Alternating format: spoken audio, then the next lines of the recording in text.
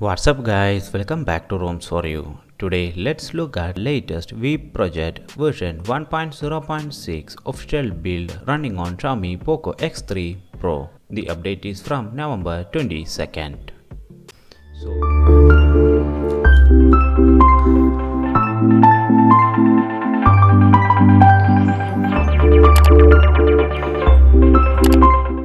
As you see the UI is pretty much smooth and responsive.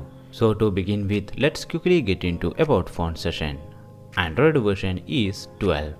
Weeb project version is 1.0.6 beta. I am not so sure why it is still under beta where they mentioned as official. Android security patch they are using is from 5th November 2021. The stock kernel is present and it is called as something like Zelda, which is based upon Linux 4.14 kernel. SE Linux is by default enforcing in this build. When you come to system settings, system update option is available. Developer option is by default enabled in this build. You will be able to check about your OTA from update session. Moving forward under security session, the ROM does comes out with screen lock, fingerprint and more. Fingerprint here is faster enough. Out of the box, the ROM is encrypted, but the ROM does misses face unlock feature as of now. Moving forward under system settings, dark theme switching option is available and there is also option to enable refresh rate. Yes, this is your screen refresh rate, not the game FPS rate. You will be also able to set the minimum and maximum refresh rate from here. Other options like screen screensaver, tap to wake are available. Under battery settings, there is pixel thermal profiles available. You will be able to select your appropriate thermal from here.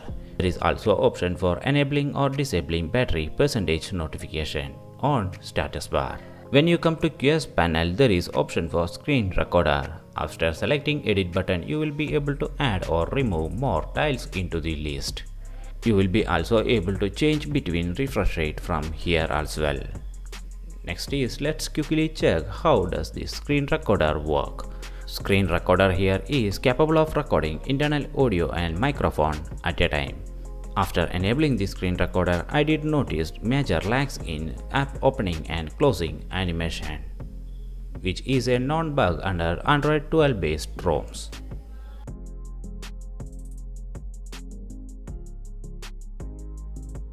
Swiping from home screen, you will be able to access Google Feed. Google Feed here is pretty much responsive to navigate. The 120Hz display is one of the reason behind it. After enabling voice recognition for the Google Assistant, I was able to call out the assistant from on-screen as well as lock screen without any issues. Google Assistant here is very much responsive, which is something great. The reason menu does include screenshot and swiping from left to right clear all option as well. Both these options work without any issue. Out of the box, the ROM does comes out with Google Go as its default camera application. The application is capable of doing its all basic job. Features like photo, portrait, video are present here.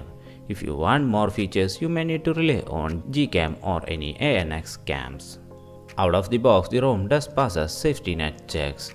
And when you come to Google Play and settings, Google Play protection is also present. SE Linux is also enforcing in this build, so almost all the security side this ROM passes. You won't be facing any issues with banking application for sure. When talking about benchmarks, Antutu scores 5,40,000 plus. Geekbench scores for single core 774 and multi-core 2455, which are decent scores for Snapdragon 860. To understand more about performance, I did do a 30 minute CPU throttling test. The result was not the best around. The ROM did manage to keep up the graphs almost all the time in green. And there is no major drops noticed in graphs as well. Overall, the ROM did manage to pull up 2 lakh plus as its average GIPS value. So next is gaming test BGMI with smooth plus extreme settings. I did even tried HD plus Extreme in this build and the result was not that much great. Even though I didn't notice any major lags with close combat, I was facing lags in scope opening and closing animations, which is something irritating when you are in middle of a serious game. So I prefer to play smooth plus extreme settings in this build. Anyway, it is always safe that you should select a minimum graphics for your POCO X3 Pro, where the phone itself is very much vulnerable. Nearby days we have heard many POCO X3s are getting back-to-back -back hard brick. No one knows the real reason behind it. But almost all the devices which are hard brick was used by gamers. So it is better always be little bit cautious about it and make sure that you are giving proper cooling to your device. It is always recommended that not to make your POCO X3 Pro too much warm. Anyway, this ROM was pretty much smooth enough as a daily driver and when it comes to performance as well. You can consider this ROM without any issue. I didn't notice any touch lags or any other issues with this ROM. So that's it guys, this is all about WeebOS latest build. Hope this video was helpful to you. Like and shares are always appreciated. Subscribe if you are new here. And I'll catch you in next one.